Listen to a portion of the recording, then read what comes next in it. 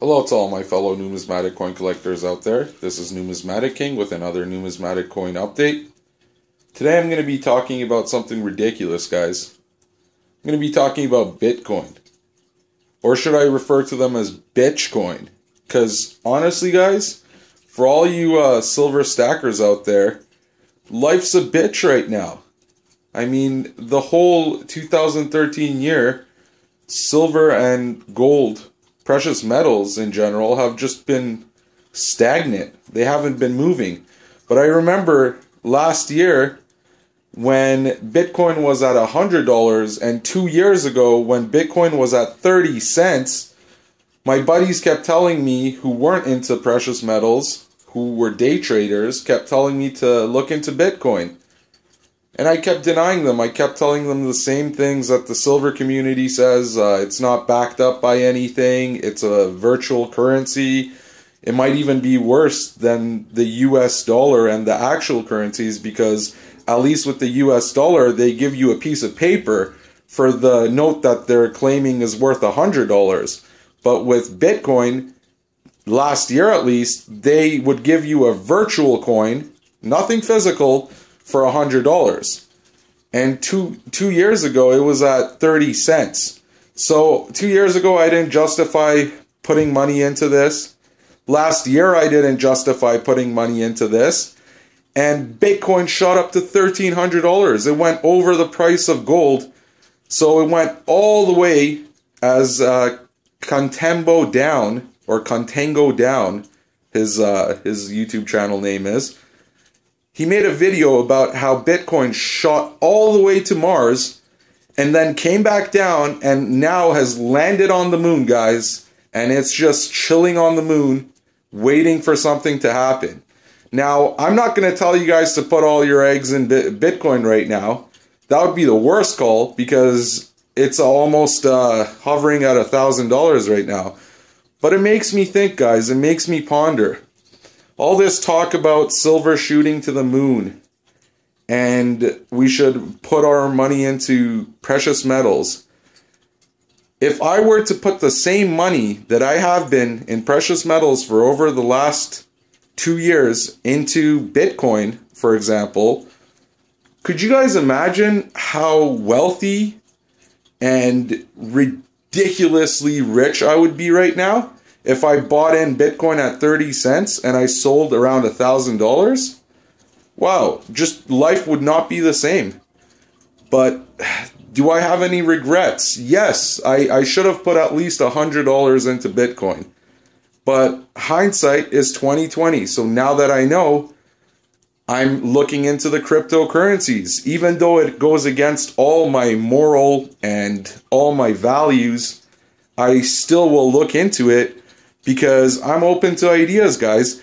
If Bitcoin shot up to the moon, who's there to say all these other cryptocurrencies that are now emerging won't do something similar or maybe something the same?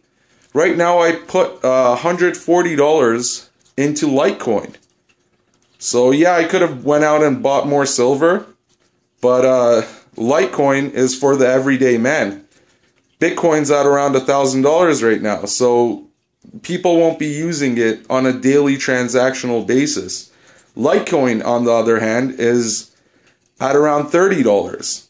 So it would be more used for the everyday man. Who knows? Maybe people are going to trade Litecoin for silver. I have no idea. But I bought a couple just to be on the safe side, but I'm still kicking myself for not putting my money into Bitcoin, the actual granddaddy of them all of all the cryptocurrencies two years ago when my buddy told me, hey man, check out Bitcoin. And I just shot it down and said, no, that's a total bunch of BS. And I wasn't open minded and I paid the price, guys. So it's always good to be open minded, guys. We've been hoping for silver to go to the moon and we've been totally missing the boat on other things that have been happening like Bitcoin who's already gone to the moon, and we're still waiting on silver to go to the moon. So, anyways, guys, that's enough of my Bitcoin rant. I'm just gonna be showing you guys some silver I uh, picked up. This one I uh, purchased a couple months ago, but I never made a video on it. And uh, when I saw it, I just had to buy it. I have no idea why I, I'm supporting these scumbags, but I just had to get it, guys. When I saw it, I pulled the trigger. So here's my coin update. It's the 5 ounce Scotiabank silver bullion coin. And I paid $144 for this and it comes up to 28.80 per ounce when silver spot price was around 22.23. So not bad, but for some reason people really like the Scotiabank uh, silver because it's minted by JM I hear. Uh, I'm not sure. You guys can correct me on that in the comment section. And something else that I pulled the trigger on that I'm really overly enthusiastic about are my 2011 Panda that I bought two days ago from a local coin shop and my 2012 Panda which I've been really wanting from the same local coin shop guys So I asked uh, my local coin shop guy how much he wanted for those, and he said $10 over spot. And I freaked out for a second, but I did the math, and spot was around $21, so he's asking $31 each for them. And I said, all right, I'll pay you 30 and I'll take all of them. He had two 2011s and he had one 2012. So I paid $90 for two 2011 Chinese pandas and uh, this is a 2011 again, and one 2012 Chinese Panda, and one of the 2011s I actually ended up selling to one of my buddies. So, not bad. Pretty good deal. And that just goes to show, guys, you guys got to be more open minded. If I shot down the guy, the local coin shop dealer, who told me $10 over spot, I wouldn't even have uh, thought about buying it. But then when I kept an open mind and I thought about it, wow, I'm getting 2011, 2012 Pandas for 30 bucks.